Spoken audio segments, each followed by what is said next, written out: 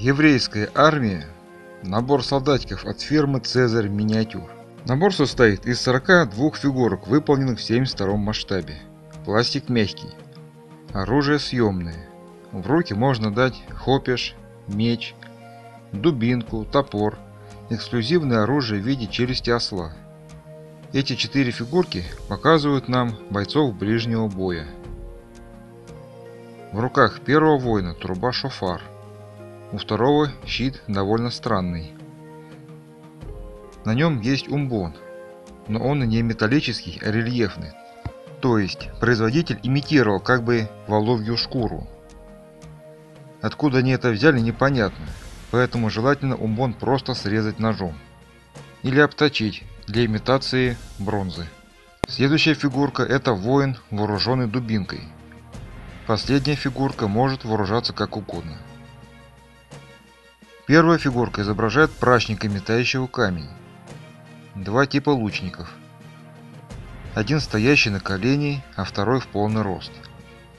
Проблема в том, что у евреев было мало лучников, а застрельщики были в основном прачниками. В наборе явный дисбаланс типов стрелков. Последняя фигурка изображает Моисея, держащего скрижали с заповедями, которые, согласно Библии, он получил лично от Бога на горе Синай. В наборе 4 Моисея. Перебор, однако. Я покажу, что из этих фигурок можно сделать, когда в видео дойдем до конверсий. Женщина с посохом. Скорее всего, это изображение судьи Деворы. Это единственная женщина-судья у евреев. При этом ее влияние было огромным. Она смогла сплотить все 12 колен и собрать большую единую армию, которую в бой на ханаанитов водил Варака. Эту битву с царем Сесара я описывал в прошлом видео. Еще два воина. На голове одного из них шлем конической формы. Последняя фигурка сделана намеренно выше всех остальных. Это изображение Самсона. Во времена войн с филистимлянами это был судья Израиля, занимавший эту должность 20 лет. Сохранилось несколько легенд о Самсоне, например такая. Как-то по требованию филистимлян, евреи связали и выдали Самсону врагу на казнь. Но попав в лагерь врагов, он порвал путы и, подобрав с земли ослиную челюсть, перебил 3000 воинов врага в одиночку. Именно это оружие и сделал производитель миниатюр.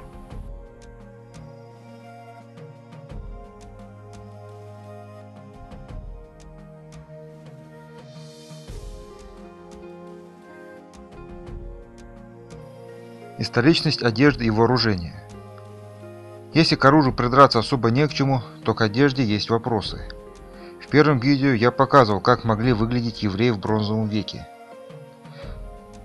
Тут производитель не сделал ничего подобного. Одежда это классически для Востока длинные платья до щиколоток, иногда до колен. Рукава короткие и длинные. Длинные рукава порой закатаны до локтя. Только две фигурки соответствуют облику евреев времен Исхода.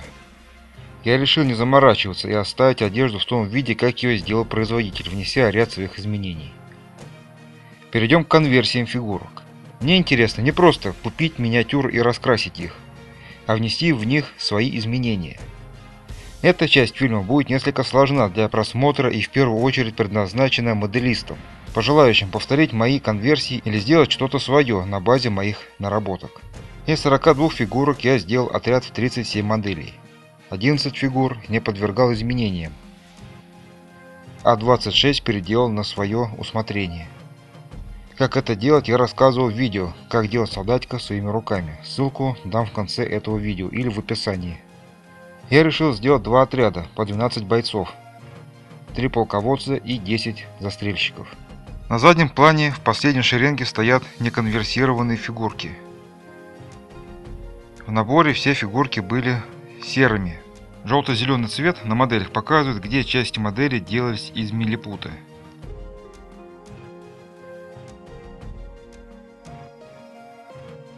Часть модели я сделал из карфагенян от звезды. Их видно по желтому пластику. Я брал как части тел, так и фигурки целиком. Для одной модели нижнюю часть взял из набора греческая пехота от звезды. Использовал также набор гальская пехота от звезды и республиканские римляне. от звезды. Кстати, перед окраской модели от Цезаря обязательно грунтуйте, иначе они будут липкими из-за того, что краска не будет на них до конца высыхать. Прачники. Стреляющая фигурка. Я решил сделать только одного, а остальных оставить для использования в других армиях. Уж очень оригинальную модель сделал Цезарь миниатюр. Изменениям фигурку не подвергал.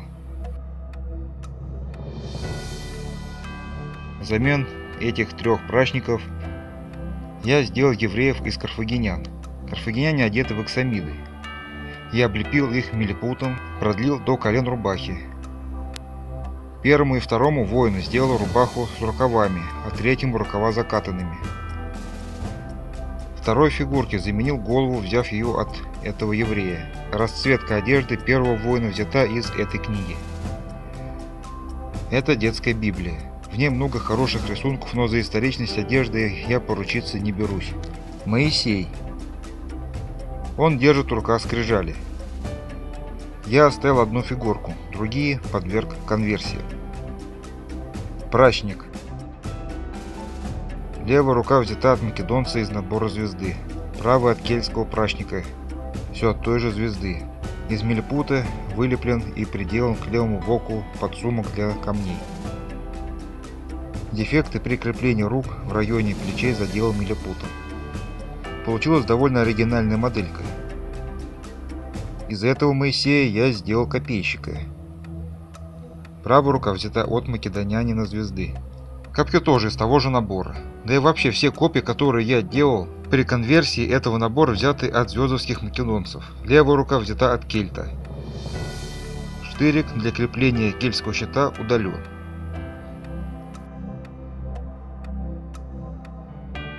Лучники. Из четырех стоящих лучников я оставил одного. Конверсии ему не делал. Сидящих лучников использовал всех и немного с ними поработал. Срезал стрелы, воткнутые в землю. Заменил двоим фигуркам головы. Одну взял с еврея, другую от карфагенянина. Голова в коническом шлеме. Как ни странно, но у всех лучников нет колчанов для стрел. Они должны быть у них за спиной. Я не исправил этого, потому что просто забыл. А потом при покраске заметил этот недочет, но было уже поздновато что-то менять. Наконечники стрел были бронзовыми, примерно такого вида. Вполне возможно, что часть наконечников вообще делались из обсидиана, поэтому их надо было бы окрашивать в черный цвет. Воины со щитами. Воин справа просто покрашен.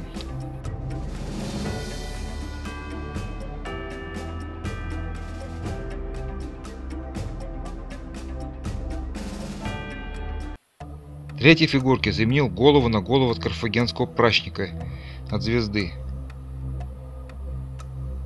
Четвертому воину поменял правую руку на руку с нижним хватом копья, голову взял от сидящего еврейского лучника.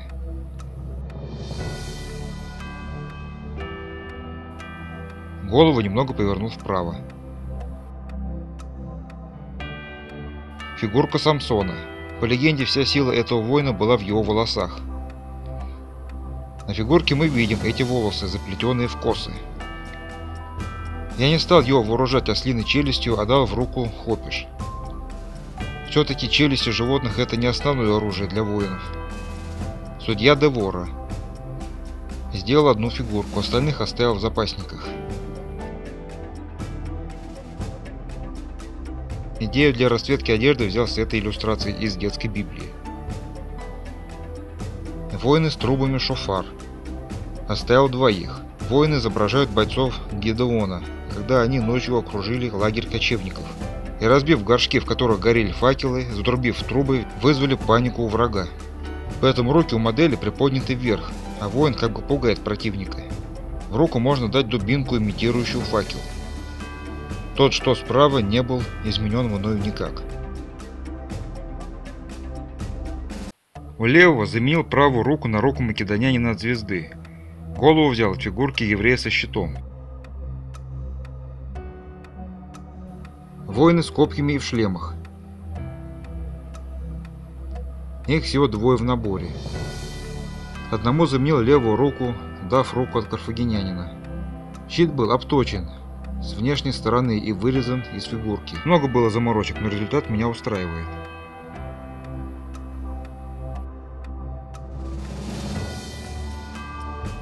Бегущие воины. Одному заменил голову на голову от еврейского лучника.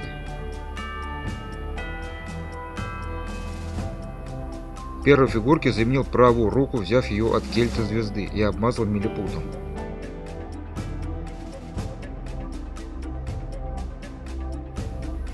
Раздал разное оружие. Топор, хлопиш, дротики.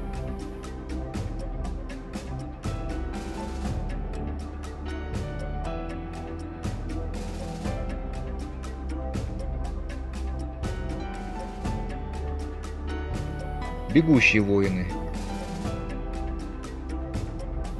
Первому заменил голову на карфагенскую в коническом шлеме. Вооружил его хлопишем. Вторую фигурку разрезал пополам, оставив низ, а верх взял с воина с дубиной. Корпус повернул вперед. Третьей фигурки из милипуты слепил жилет и вооружил дубинкой. Получился такой вот ополченец четвертой фигурки заменил тело выше пояса на карфагенянина. Оружием ему служит дротик.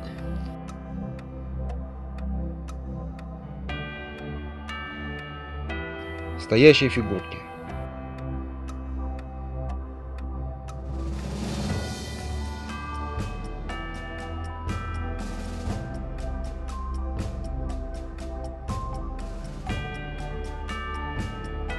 Второй заменил правую руку на верхний хват.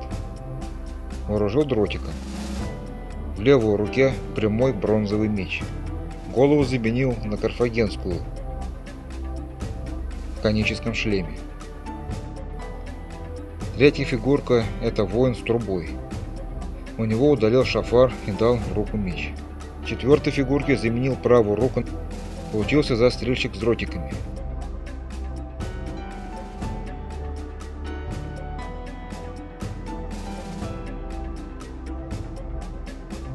Первой фигурке заменил левую руку. Раньше она была со щитом. Руку взял от кельта звезды, облепил ее милипутом, так как нужна была рука в одежде.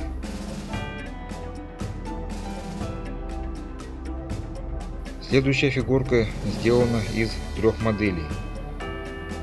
Верх взят от евреев. Низ взят от греческого лучника от звезды. Милипутом заделал стык в поясе и сделал ремешок. Получилась такая вот модель. Третья фигурка сделана из карфагенянина от звезды. Заменил ему голову на еврейскую. Она смотрит чуть назад и вверх. Он как бы призывает товарищей идти в бой вслед за ним. Долепил с милипута жилет. В правую руку дал топор. Последняя фигурка это бывший трубач. Срезал у него рог из руки. Заменил голову. С мельпута сделал жилетку. Вооружил копьем.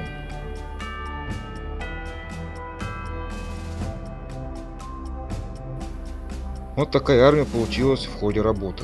Вы можете повторить мой опыт или сделать по аналогии что-то свое.